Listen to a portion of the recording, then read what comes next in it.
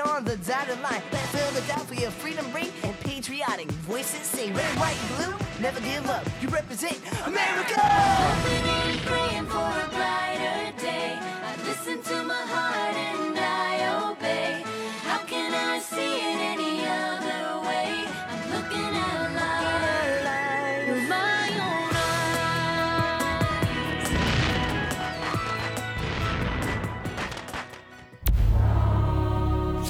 are some exciting scenes from today's episode of Liberty's Kids.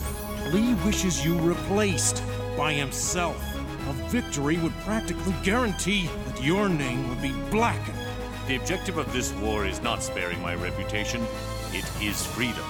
The British have been in control of this war from the outset. General Greene, how many battles have you won? Or, for that matter, has our commander in chief? Your opposition to this attack borders on treachery.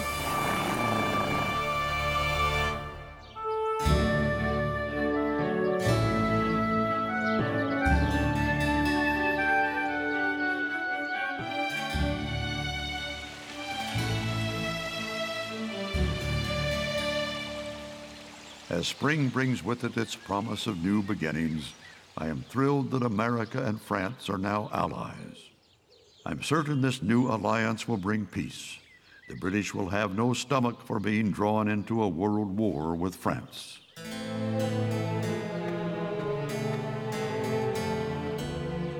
However, I have a grave concern. So grave that I have sent this note by secret messenger to ensure its safe arrival.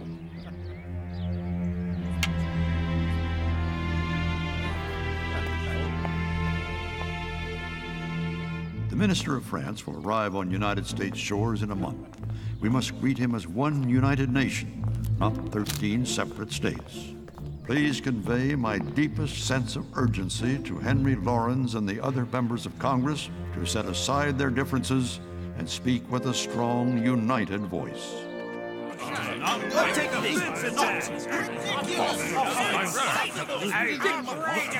Virginia's arguments make no sense. Maryland's arguments are madness. Their voices might not be united, but they are strong.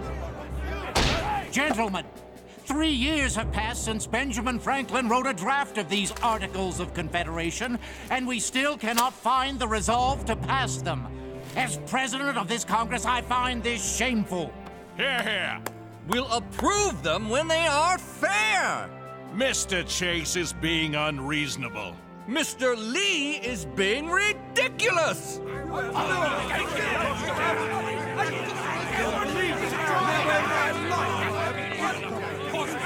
Excuse me, Mr. Laurens. This just arrived. News from Dr. Franklin in France. The French minister will arrive in less than one month. He must see us as a united nation, or our critical alliance with France may not stand. Gentlemen, our very freedom is at stake. I knew this was going to happen. Listen to me! I say, Maryland, your time has come. I sometimes wish Congress were more like the Army. One person gives orders, and others follow without question. Sort of like having a king. Huh?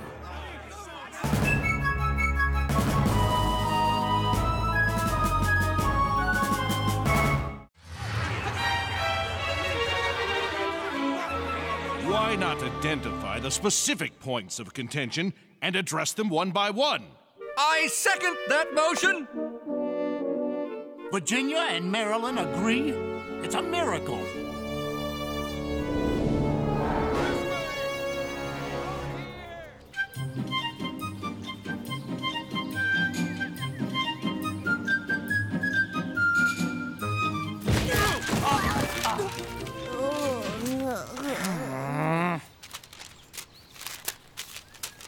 If you're going to be my assistant, you've got to learn to be on time and to not run into the journalist. Sorry, what did I miss? See those women over there? They're Philadelphia washerwomen and spies for General Washington. Real spies! They say the British officers have demanded their laundry by next week, whether it's finished or not. You know what that means. They don't care if they wear dirty clothes? No, it means the British are finally withdrawing from Philadelphia. This is a huge story for me. Sure is. But uh, what happens to the spies when you write it? Ladies, you have done your country a great service. Thank you. We have before us a great opportunity. Mr. Hamilton, call a war council for this afternoon. Yes, sir. Wow! Did you see that? Sure. General Washington is working with the Wappinger to form an Indian company to fight the British. I was talking about his feathers. Excusez-moi, but those are the most wonderful feathers I have ever seen. I earned them in a tribal contest. You have to win them in a contest? These, yes, but there are plenty of other turkey feathers around. All you have to do is catch a turkey and pluck a feather. Gentlemen, we have identified the three major issues that block our ratification of the Articles of Confederation. One, how to divide the expenses of a central government among the different states. It's absurd! A state like mine, Maryland, with limited land and resources, cannot be expected to pay the same for this war as Lee's Virginia, which claims vastly more territory and the right to expand. Vastly more territory? Well said! Ridiculous! Where are you going? Outside. It's too windy in here.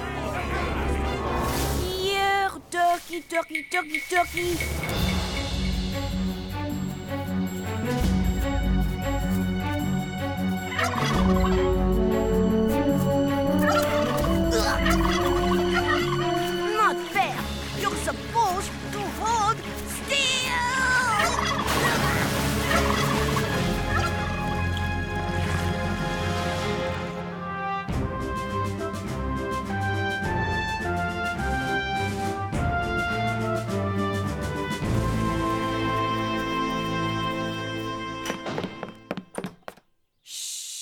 In spite of the British withdrawal from Philadelphia, and in spite of their slow retreat, I can hardly credit your desire to attack them, General. Only a fool would seriously consider such a move. Sir, you are speaking to your. Oh, it's tantalizing to be sure, but it's exactly what they want us to do. Right, Achilles? Let's not deceive ourselves. The British have been in control of this war from the outset. I suppose that's why they've replaced General Howe with General Clinton. It is hardly for us to second guess the greatest army in the world. Clinton is an able soldier with many a victory to his credit. General Greene, how many battles have you won? Or, for that matter, has our commander in chief? Sir, you're not going to accept these outrageous slurs on your honor.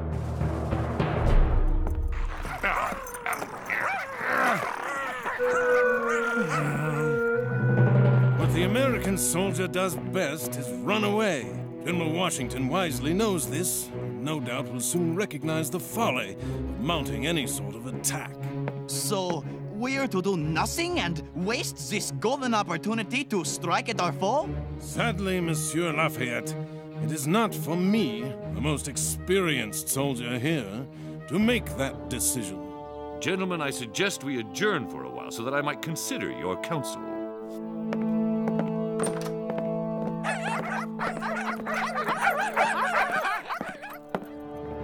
Whose side is General Lee on, anyway?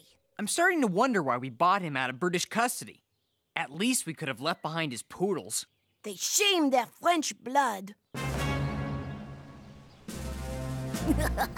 I finally found a dumb one. Just a little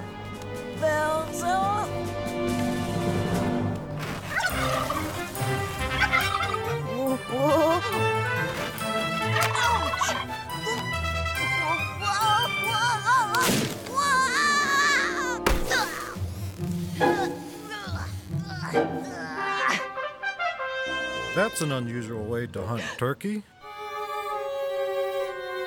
Uh, it's how you tell a smart one from a dumb one. The turkey or the hunter? Hunter, I'm afraid. I'm Henri. Abraham Nimham, I could teach you an easier way to hunt turkey. The way of my people, the Wappinger. That would be great! Only, uh, could you get me down first? Since we have failed to resolve the issue of how to split federal expenses, could we at least agree on how each state is to be represented in Congress? We have a perfectly adequate system now. One state, one vote. Are there any objections to the present arrangement? If they can agree on this, maybe they can agree on the other points. Then we are in accord. Aye! Finally.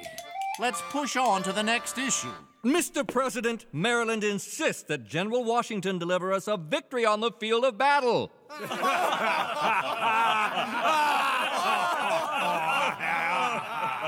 Why not? A victory would impress the French more than any act this Congress might pass. Mr. Chase, this Congress can't even agree on whether or not Washington is worthy of his command. Let us get back to the business at hand. He speaks the truth. Never mind Washington. Let's get to the articles. Leave him alone to do his job, and let's do ours. Some delegates don't believe in General Washington? All of them could use more of the general's determination to unite this country.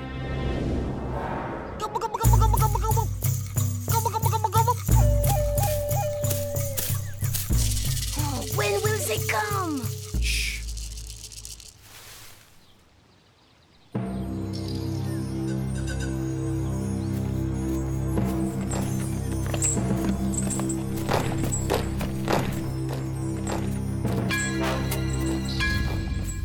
Retreating column is 8 to 10 miles long? Yes, and despite the heat, they wear wool uniforms and carry full packs. They are struggling. Gentlemen, I believe we should seize this opportunity to strike the enemy while he is most vulnerable. What do you say? We could easily attack their flank and rear without getting into a full blown battle. We'll never have a chance like this again. I say we fight. General Lee? I am passionately opposed to such an action. Lee, Your opposition to this attack borders on treachery. I'm sorry, sir. No. It's logic. High risk disaster when a French alliance is so near to hand. Because we must show the French we are worthy of an alliance, sir. And with a victory, deal the British a double blow. We shall attack. That is my decision, and it is final.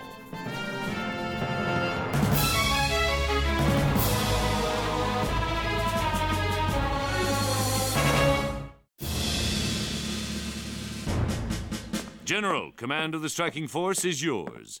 1,500 men. I. I. I'm sorry. I must refuse.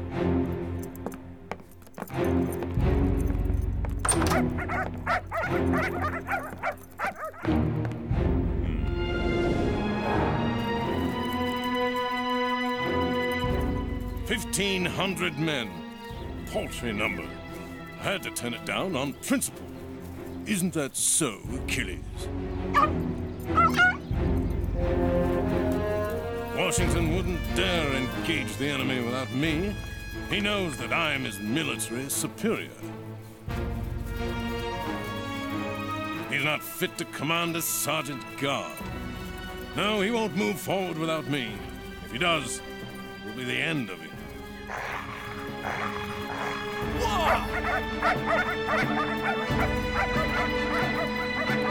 We'll have 1,500 men, and if we come up on their flank, we'll be able to take them over.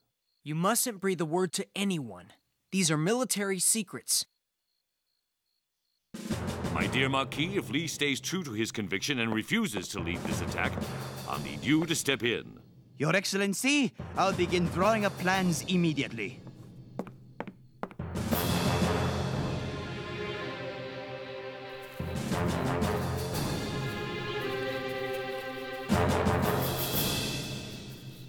I've called this private meeting so that we three might reach an agreement about the most difficult issue before us.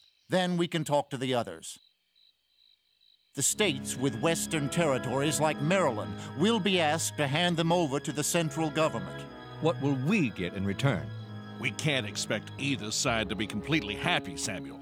You're a sly one, Henry, making it Richard and my responsibility to convince our colleagues. Sam, we must end this impasse. Excuse me for interrupting. Good evening, Miss Phillips. Washington intends to engage the enemy. This is it, gentlemen. Washington must win this battle. Hurry, Henri! They're reviewing the battle plans.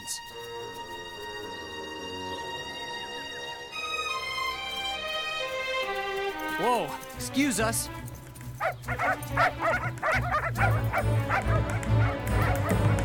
I understand that you've placed 5,000 men under the command of a 20 year old boy. Not a boy, sir. The Marquis de Lafayette. Half the army. I am insulted, sir. General, you turned down the command. I disapproved of the strategy. Nevertheless, my honor requires that I now take charge of what has become a major engagement. You are entitled to the command, General. It is yours if you want it. You will attack tomorrow at dawn, concentrating horse and battery on the British west flank at Monmouth.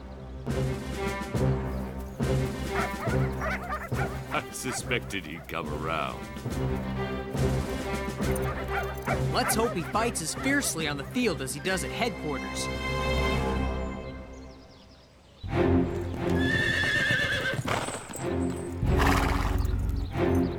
General Lee? I have been charged by Washington to take over here. I'll require a full accounting of your forces cavalry, artillery, and infantry. Certainement. And I can show you my plans. I have no use for your plans. Of course. You have your own. No, to draw up plans is pointless, as the enemy is on the march. I shall improvise my strategy in response to his movements. Uh, our forces are now positioned to give Lee complete support. Gentlemen, it has begun. Look at all those feathers! One of you drop me a feather! Henri, come back here! We need to stay with Henri!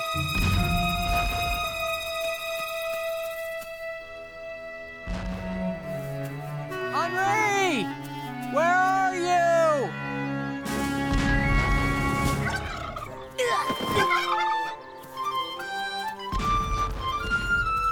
Henri, come on!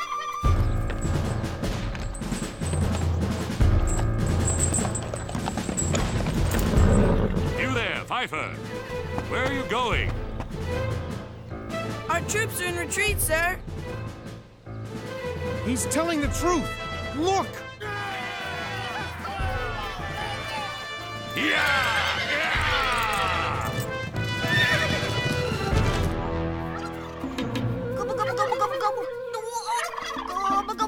Gobble.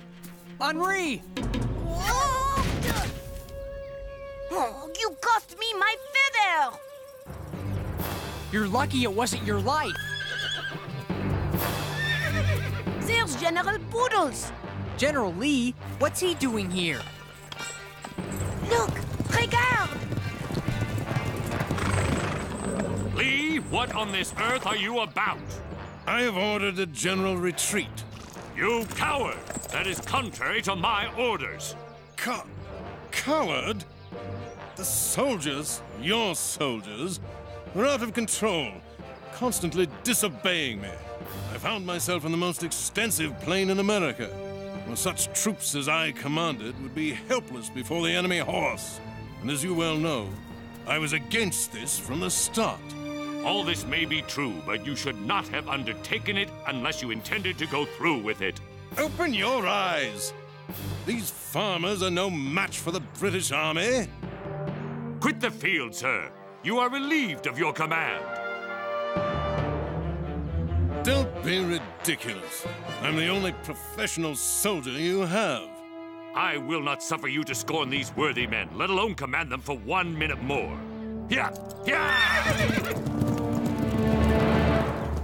I will not allow us to lose this battle. Take positions behind those hedgerows and hold that ridge. We are through running.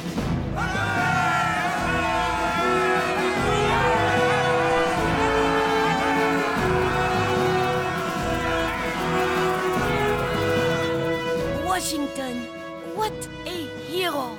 And what a story! Despite the awful heat, our reorganized troops turned away several enemy assaults. Though the day ended in a draw, the British have learned new respect for the fighting resolve of our army. In your service, General George Washington.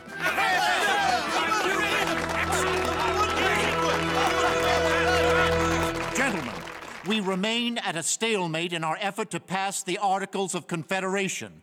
This is the kind of fortitude and discipline we need if we are to become one nation. I can only hope we're capable of it. We can do it! Hear, hear. We are Here, capable!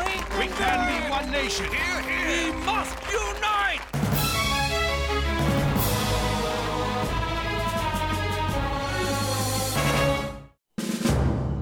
In the longest battle of the war so far, our commander in chief has shown the world he deserves that title. And Washington has agreed, with deep regret, to grant General Lee a court martial. It's been an exhausting time for soldier uh, and civilian alike. But we've all learned that even the best plans are meaningless without the discipline and determination to see them through.